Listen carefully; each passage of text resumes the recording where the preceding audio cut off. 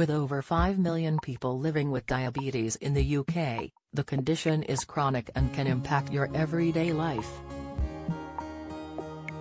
Changing your diet, medication and having regular checkups will become a major part of your life that you may not have expected caused by issues with a hormone in your body named insulin. Type 2 diabetes is often linked to being overweight or not exercising enough. The condition can also be hereditary.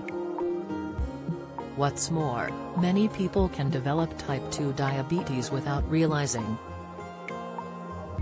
According to the NHS, this is because symptoms do not necessarily make you feel unwell. Some of these may include peeing more than usual, particularly at night feeling thirsty all the time feeling very tired losing weight without trying to itching around your penis or vagina, or repeatedly getting thrush cuts or wounds taking longer to heal blurred vision.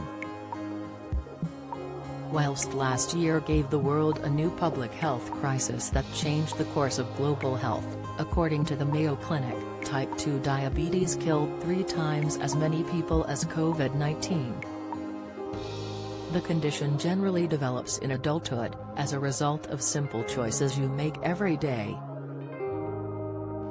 So, what can you do to reduce your risk?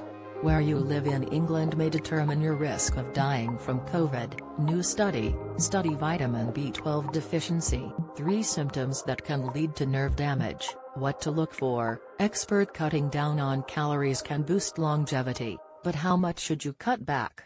Study, study, whilst there are a myriad of risk factors that contribute to developing type 2 diabetes, the biggest is a diet high in added sugar. When the body is overloaded with sugar, with many foods containing carbohydrates that break down into glucose, it can become resistant to insulin. Diabetes is when your body cannot provide enough insulin to allow glucose, sugar, into the hungry cells of your body, explains Thomas Horowitz, a family medicine specialist at CHA Hollywood Presbyterian Medical Center.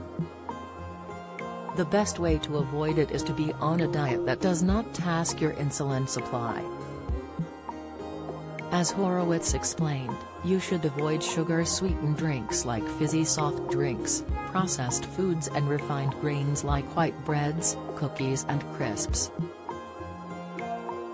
Instead, the specialists recommend that you should choose foods that are low in added sugar and contain complex carbohydrates that break down slowly, like whole grains and vegetables instead of refined grains or sweets.